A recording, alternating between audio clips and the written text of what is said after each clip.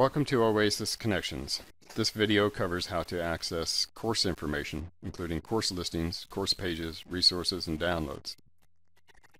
All of the information that has to do with any course is now in one place. Each course has its own page, and all of the resources you need for that course, including update information and downloadable resources, are all on that single page. There will not be any more instructor guides published. Here is how to find the courses and resources that you need. From the oasisnet.org homepage, hover over National Programs and select Course Descriptions under Connections Technology. The Course Descriptions page lists available courses grouped by function or interest. Click on any title to open the course information page. If you need a printed copy of all of the course listings, click the link here. Let's open the course page for Windows 8.1 and take a look. Most course pages will have a general description and overview, instructor information, catalog copy, a table of contents, and more. Let's look at the individual features of the Facebook course page. The description is an overview of what the course is and any special focus it might have.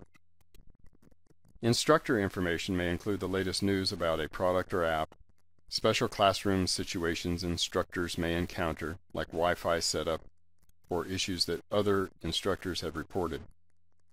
This is also where you will find a link to the Connections blog with posts that may have recent information you will find helpful. For instance, Facebook has made several changes, including adding a legacy function for personal profiles. If you are here on the Facebook course page, clicking the blog link will display any blog posts that might give you the latest updates on the subject.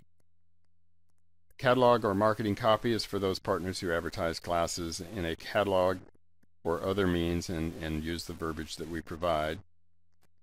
Version info details version numbers, publication dates, translations, suggested course links, and the number of pages in the manual. Keep in mind that the number of pages may include tables of contents, glossaries, and other content in some courses. Classroom resource downloads are next. Courses that have pictures or other files will have classroom resources linked for download here. And finally, for those who are signed in and have download rights, here is where you download the actual manuals for classroom use. This area is hidden to the public.